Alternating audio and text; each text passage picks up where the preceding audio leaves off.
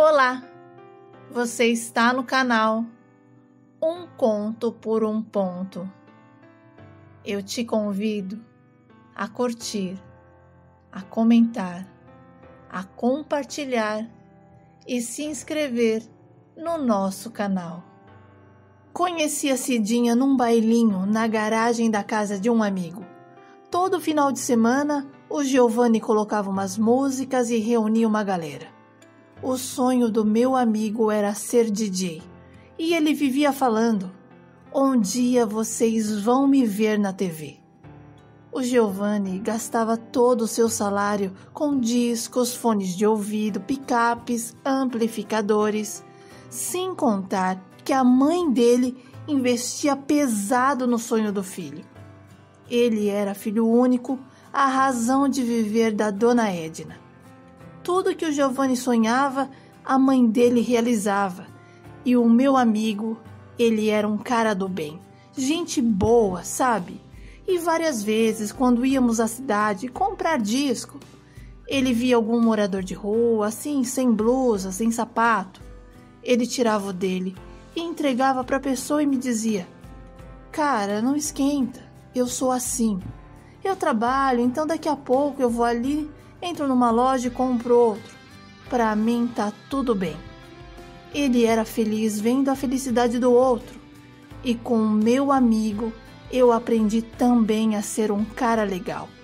Não era 100% igual a ele, mas eu tentava.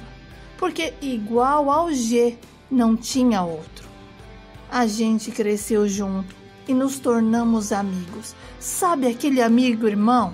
Então, eu dormia na casa dele, ele dormia na minha, e até os nossos pais acabaram se aproximando mais. Na época eu me apaixonei pela Cidinha e ele também se apaixonou pela Valdirene. As duas andavam juntas, mas a Val era meio avoada, não estava ainda pronta para um relacionamento, diferente do G, que tinha certeza que ela era a mulher da vida dele. Mas a Val, desde o início, disse que não gostava dele e que só o queria como amigo mesmo. Mas o G encafifou na menina. Às vezes eu tinha raiva dele, porque mesmo a Val dizendo não, ele insistia e por isso ele sofreu. Chorou e me dizia várias vezes que não ia conseguir viver sem ela. Na verdade, o G se apaixonou sozinho. Mas de tanto ele insistir, a Val resolveu dar uma chance, mesmo sem gostar dele, e namoraram por um ano. Eu e a Cida já fomos mais devagar, sem contar que o pai dela não me queria como genro nem a pau. Ele do nada olhou para minha cara e jurou que eu era um malandro, que não tinha cara de rapaz decente e toda vez que ele me via com a Cida, a fúria tomava conta do seu Portugal. Ele não dava moleza, colocava a menina para dentro à base de cintada e fazia vergonha grande para ela. Uma vez, a gente estava dançando uma música romântica na garagem da casa do G. Quando ele entrou e a arrancou de mim, dizendo que ele não tinha criado filha para ser garota da vida. E do jeito que ela estava dançando comigo, logo, logo estaria embuchada. Levou a Cida pelos cabelos, foi feio o que ele fez. Mas na cabeça do seu Portugal, o certo era ele e a gente que era o errado. Tivemos muita dificuldade em começar um namoro mas como nós gostávamos de verdade um do outro, resolvemos namorar escondido. Não íamos aos bailinhos, porque senão o pai dela aparecia. Então, passamos a nos encontrar nos parques, nas praças ou mesmo na casa da Val, que na época já namorava com o G. Logo eu arrumei um emprego e a Cida também. E depois do nosso expediente, a gente se encontrava no shopping, comia alguma coisa e voltávamos para casa felizes. Quando a Cida fez 19 anos, ela encarou o pai e disse que estava apaixonada por mim e que gostaria muito de ter a benção dele. Mas o seu Portugal era tão turrão. Sabe aquele tipo de pai dominador que acha que o filho só vai se for a base da chibatada? Os dois discutiram e no decorrer da discussão ele pegou uma cinta, mas a minha namorada segurou na mão dele e disse que não ia mais apanhar e que nunca mais ele tornasse a levantar a mão para ela. Como a mãe da Cida já era falecida e não teve ninguém para defendê-la, o seu Portugal a botou para fora de casa, dizendo que não ia apoiar safadeza de ninguém e que na verdade ela estava era querendo se perder, mas que se embuchasse do pilantra, que era eu, que pela rua ficasse, porque ele não era homem de voltar atrás. Minha namorada saiu de casa sem ter para onde ir. Bateu na minha porta, assustando a todos nós. Cida era muito bem-vinda em casa e minha mãe a achava uma moça boa, com cabeça no lugar, e por conta disso abrigou a minha namorada em casa, mas nos fez prometer que nós não faríamos nada que a desagradasse. Prometemos. E Cida passou a dormir no quarto com a minha irmã, Simone. Minha namorada, além de trabalhar, deu início a um curso de enfermagem e incentivou a minha mãe a fazer também. Além de colegas de turma, sogra e nora se tornaram também melhores amigas. E eu achei bom Amei a ideia das duas se darem bem.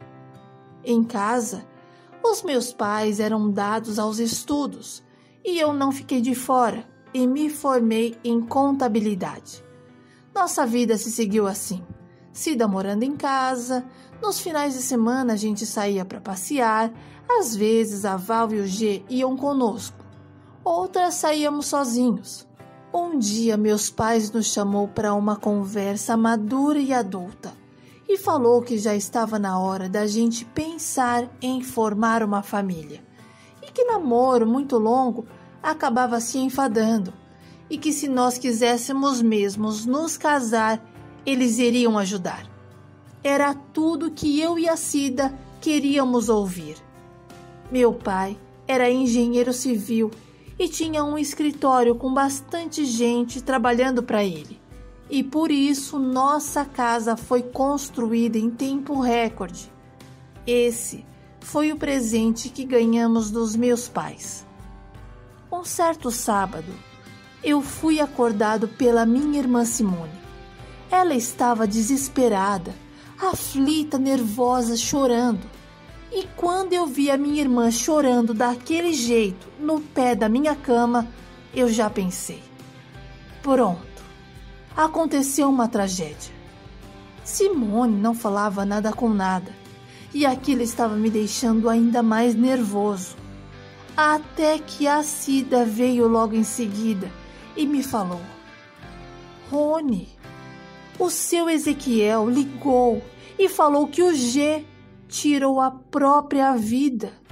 Ele se jogou de uma ponte. Na hora o meu coração disparou. Eu fiquei frio, gelado e repeti: O G? O G? Como assim? O G tirou a própria vida? Meu Deus! Eu senti meu corpo amortecer. Honestamente, não sei se eu acreditava, se eu saía correndo, se eu chorava. Eu acabei me perdendo no meio daquela notícia. Não, não podia ser verdade. O Giovanni? Não. Ele tinha tantos sonhos. Ele queria ser DJ e aparecer na TV. Eu custei a acreditar. E por muito tempo eu odiei a Val e, para mim, ela era a única culpada daquela tragédia toda. A morte do G me abalou de tal ponto que eu não tinha forças nem para ir no velório. Eu não queria ver o meu amigo daquele jeito, num caixão, sem vida. Eu queria lembrar dele alegre, feliz, tocando suas músicas. Mas de tanto a minha mãe insistir, eu fui. Assim como estava difícil para mim, pior estava para a mãe do meu amigo. Dona Edna ficou completamente fora de si.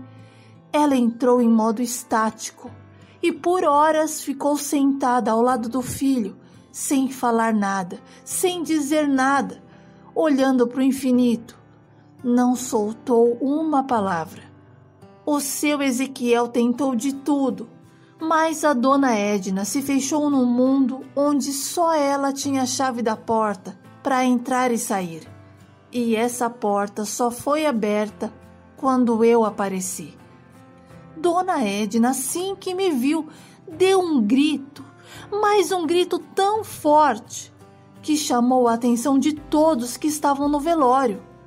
Ela falou bem alto, chorando: Filho, onde você estava?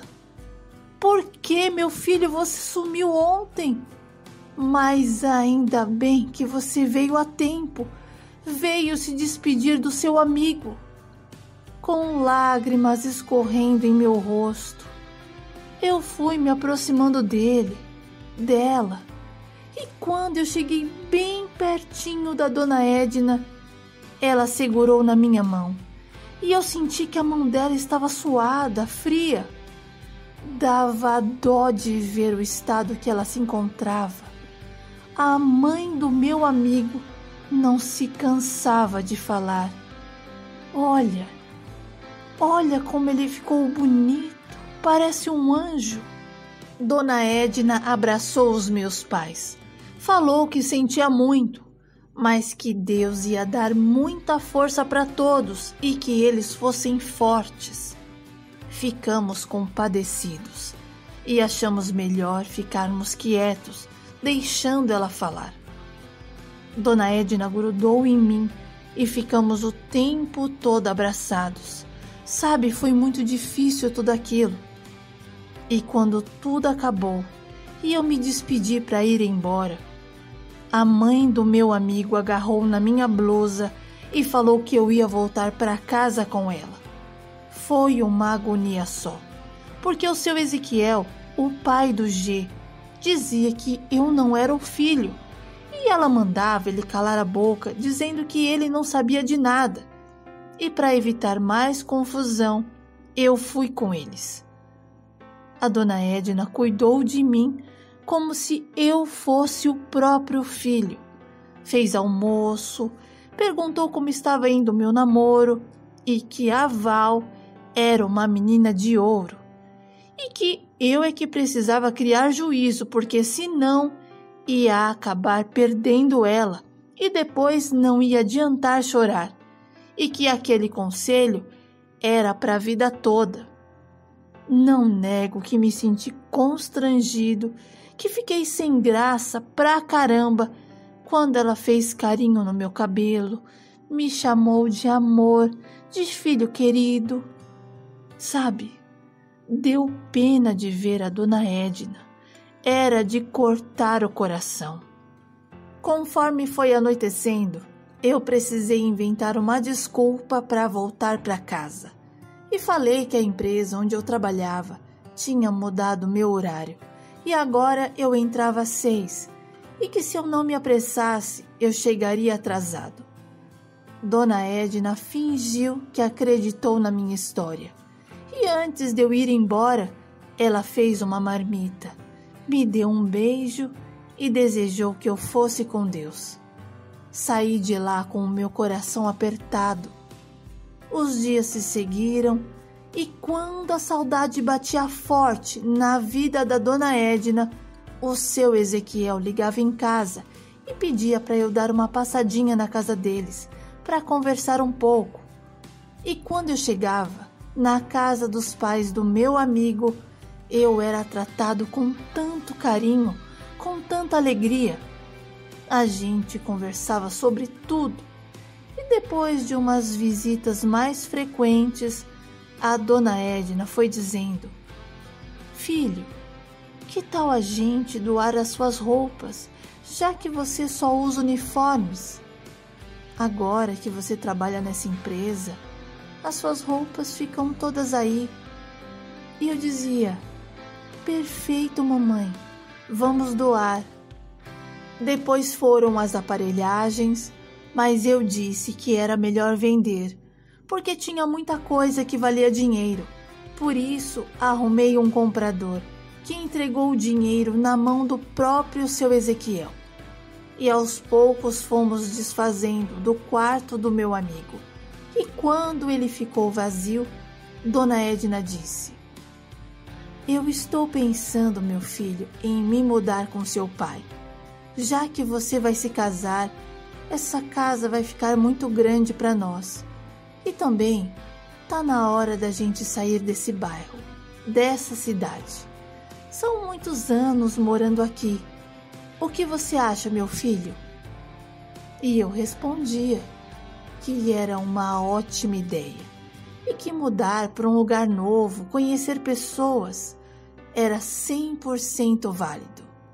Os pais do meu amigo se mudaram para uma outra cidade e eu os ajudei a fazer a mudança.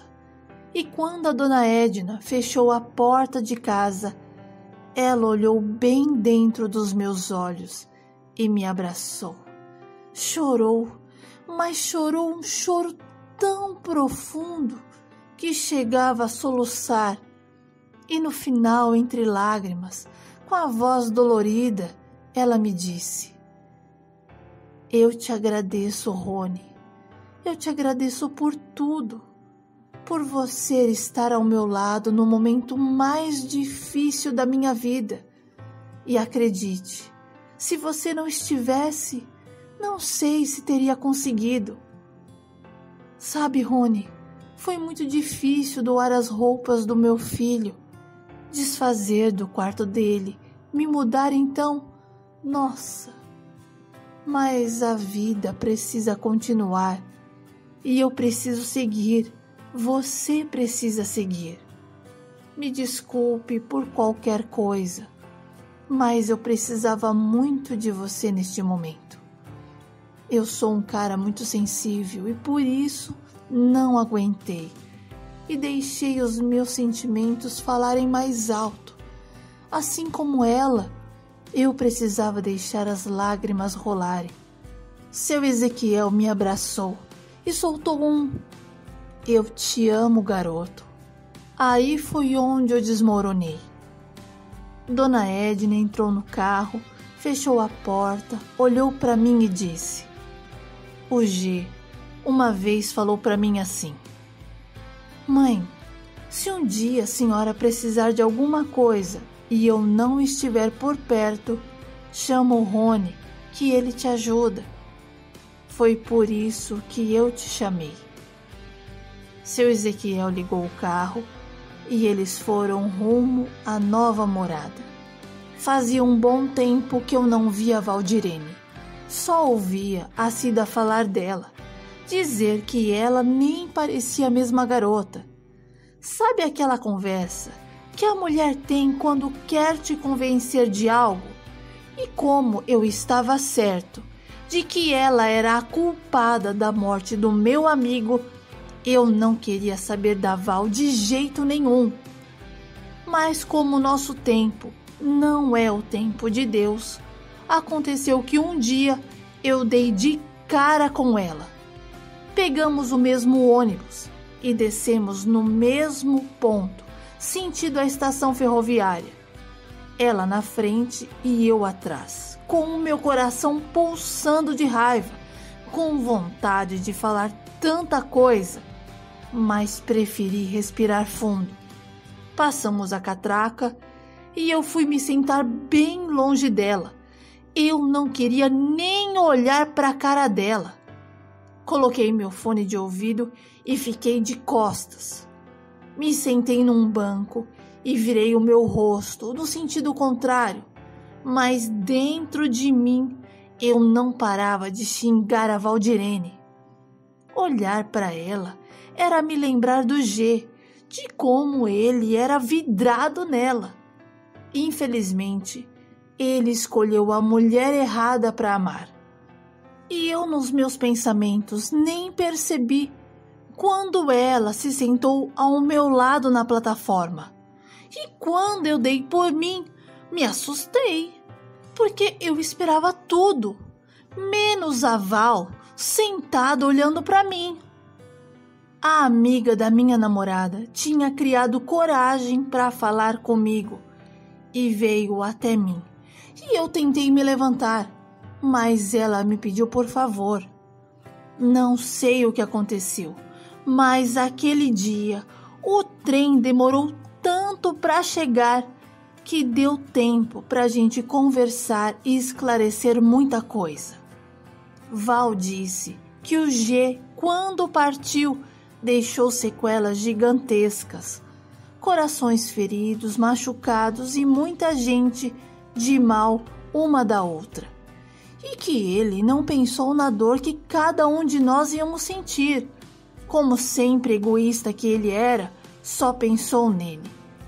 Não aceitei o jeito que ela estava falando do meu amigo e falei para ela parar de jogar a culpa nele, porque a única culpada dele ter morrido como morreu era a única e exclusiva dela.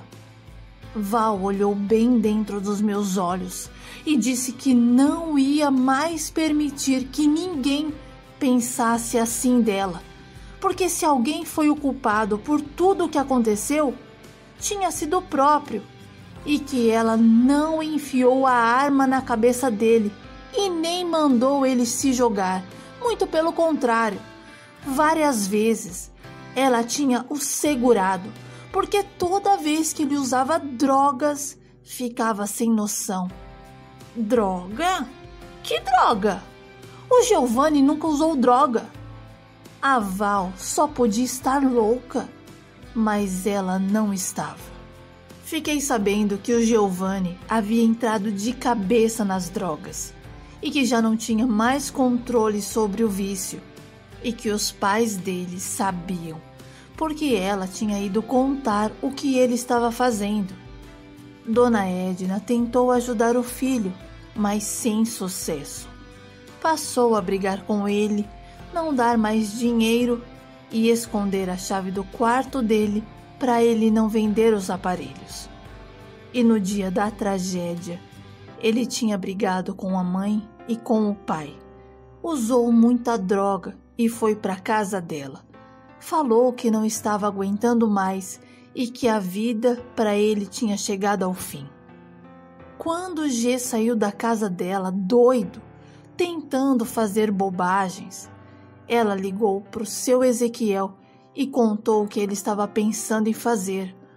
Eles rodaram o bairro, mas não o encontraram. Val nunca terminou com o G. Eu fiquei sem acreditar. Achei que tudo aquilo era conversa fiada. E quando o trem chegou finalmente na plataforma, ela simplesmente se levantou e entrou no vagão. E eu fiquei ali, em choque. Porque o G era o meu amigo. E eu nem sabia disso. Nunca soube que ele tinha se envolvido com drogas. Para tirar a minha dúvida, eu liguei para o seu Ezequiel. E conversa aqui, conversa ali, ele me confirmou a história. E que o verdadeiro motivo de toda aquela tragédia tinha sido por conta da droga que ele não conseguiu vencer. Infelizmente, perdemos o nosso amigo para as drogas. E por causa disso, eu comecei a fazer um trabalho voluntário na prevenção ao uso das drogas para crianças, jovens e adolescentes. Quando eu me casei, os pais do G vieram ao meu casamento e eu preparei um lugar especial para eles, ao lado dos meus pais e do pai da Cida. Meus filhos, André, Marcelo e Fernando foram agraciados, porque os pais do meu amigo se denominaram avós dos meus filhos. E quando as crianças começaram a crescer, as férias deles eram na casa dos avós postiços, que, para eles, se tornaram avós de verdade. Eu não percebi. Eu não percebi, eu juro, que o meu amigo estava precisando de mim. Sabe, às vezes, aqueles que estão mais próximos de nós, aqueles que nós chamamos de amigo, de irmão, não prestamos atenção e os deixamos escapar pelas nossas mãos. Não sei se hoje eu estou conseguindo ser esse cara que presta atenção em todo o meu redor, mas pelo menos eu estou tentando.